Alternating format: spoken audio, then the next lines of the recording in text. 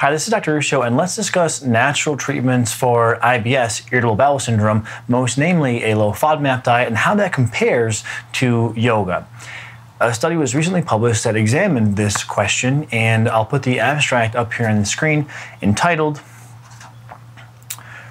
Randomized Clinical Trial Yoga versus a Low FODMAP Diet in Patients with Irritable Bowel Syndrome.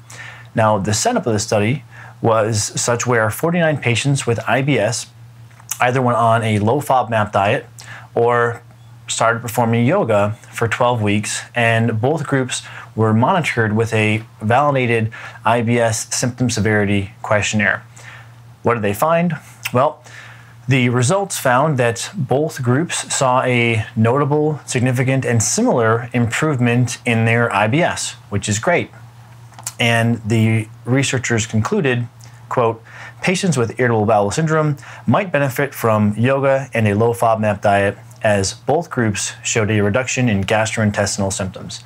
So this is great news.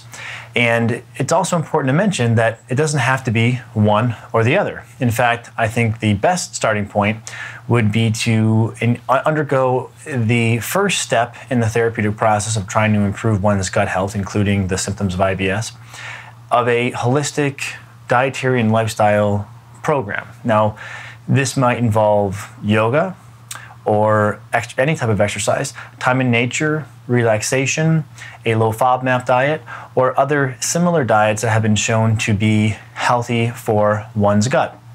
And that can really be the foundation of a gut healing and hopefully IBS quelling plan. Now, the next step could then be to escalate to other therapies that can be helpful, like herbal medicines or probiotic therapy or other dietary tweaks. And this is exactly the process that I outline in Healthy Gut, Healthy You. We start with a foundation of dietary and lifestyle factors, again, including as one option for a diet, a low FODMAP diet, exercise, time in nature, relaxation, time with friends. And then, if that doesn't lead to optimum resolution, we escalate therapies um, that are more gut specific from there. So in this case, we see substantiation that both exercise, and I guess you could say yoga would be perhaps a union of, of exercise and stress reduction, can help IBS, as can a low FODMAP diet. So nice to see more research pouring in, validating these therapies to improve one's gut health. Because remember, you can have problems in the gut that can also be manifesting outside of the gut. So if you have IBS, we know and we've discussed before, other research showing that those with IBS have a higher higher scores of fatigue, anxiety, and depression. Also, other research has shown that those IBS have a higher predilection toward insomnia. So, by healing your gut, there's a good chance you may sleep better, think more clearly, and have happier, less anxious thoughts.